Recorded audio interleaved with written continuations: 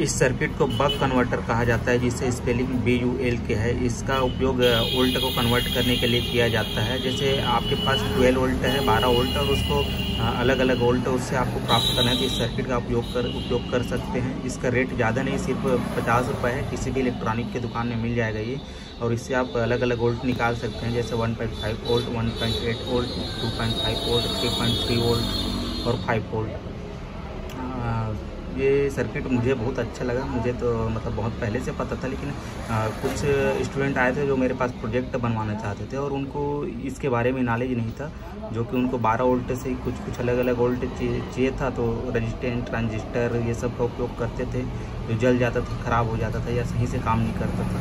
तो इसके जगह में मतलब उसके जगह में ये इस सर्किट का आप उपयोग कर सकते हैं। सिर्फ़ पचास रुपये का सर्किट है किसी भी इलेक्ट्रॉनिक शॉप में मिल जाएगा।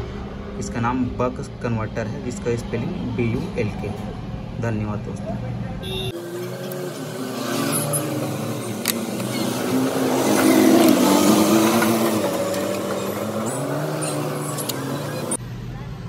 दोस्तों, ये मैंने एक 12 वोल्ट का एडाप्टर ले आया है और इसमें लगाकर इसको आपको टेस्ट करके दिखाना है। इसमें डिफ़ॉल्ट वोल्ट निकलता है। जैसे कि मान लीजिए हमें 5 वोल्ट चाहिए तो इस वाले सिस्टम को स्टार्ट करना पड़ेगा।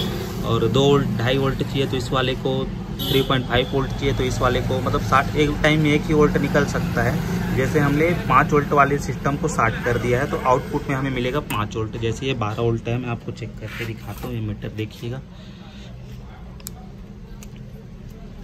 ये हमें इन में मिल रहा है बारह volt twelve point two four और हमें आउट में मिलेगा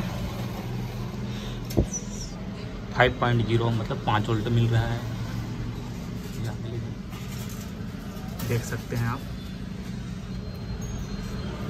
ये इनपुट ये इनपुट और ये आउटपुट